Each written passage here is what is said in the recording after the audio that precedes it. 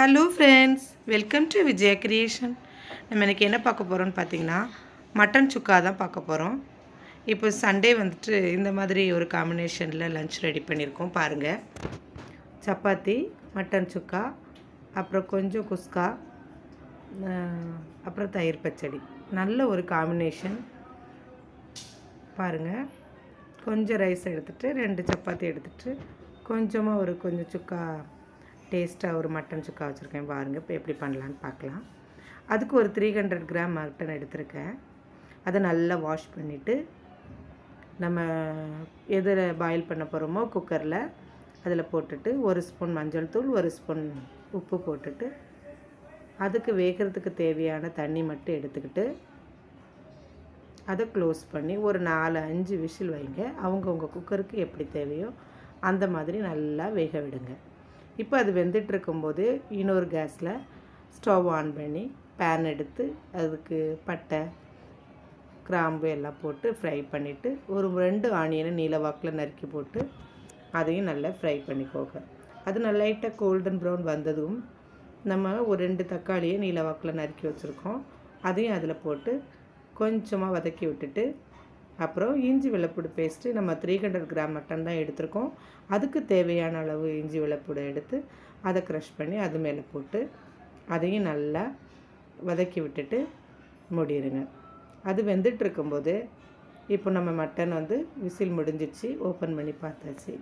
நல்லா வெந்துடுச்சு. இப்போ நம்ம அந்த தண்ணியை மட்டும் அப்படியே வச்சுட்டு வேக வச்ச தண்ணியை அப்படியே வச்சுட்டு இப்போ அந்த மட்டன் பீஸை மட்டும் எடுத்து நம்ம இந்த தக்காளி வெங்காயம் வதங்கிக்கிட்டு இருக்கிற மேலே போட்டுக்கோங்க. போட்டு நல்லா கிண்டி விடுங்க.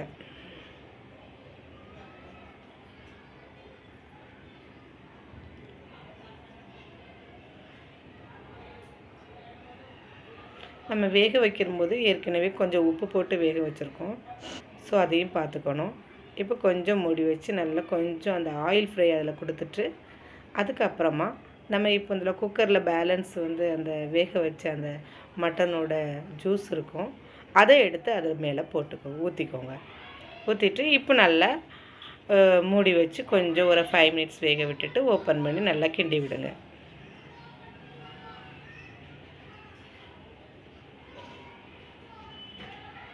இப்போ இதுக்கு தேவையான அளவு சில்லி பவுடர் ஒரு ஸ்பூன் போட்டிருக்கேன்.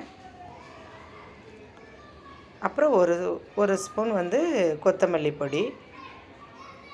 இப்போ கரம் மசாலா பவுடர் நம்ம எதுனாலும் போடலாம். நான் சக்தி கரம் மசாலா பவுடர் எடுத்து ஒரு ஸ்பூனு போட்டுட்டு சின்ன முக்கால் ஸ்பூன் அளவு இருந்தாலும் நடக்கும். நம்மளோட டேஸ்ட்டுக்கு தகுந்த மாதிரி இந்த பவுடர்களை நம்ம போட்டுட்டு நல்லா கிண்டி விடுங்க. இப்போ பாருங்கள் இப்போவுமே அவ்வளோ ஒரு பைசியாக இருக்கும். அந்த சுக்கா. நம்ம இன்னும் கொஞ்சம் இந்த கிரேவி பதம் வேணும்னா நம்ம அப்படியே எடுத்துக்கலாம்.